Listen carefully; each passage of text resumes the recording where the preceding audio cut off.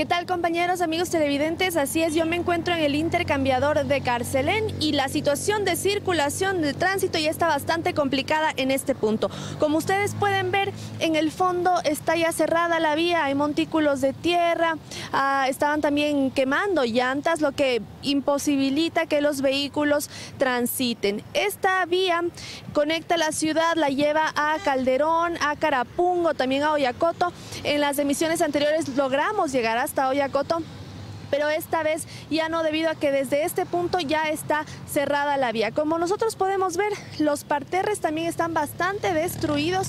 Hay estos montículos de tierra, no sabemos si es que tal vez esto mismo utilizaron para, para impedir el paso. Lo que estamos también viendo es que hay muchas personas transitando porque no hay transporte público. Como les comentábamos, está bastante caótico. En este punto no hay eh, personal de la Agencia Metropolitana de Tránsito, tampoco de la policía para que controle un poco el tema de la circulación.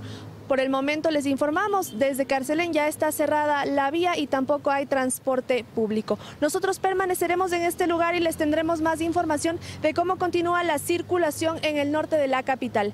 Con esta información me despido.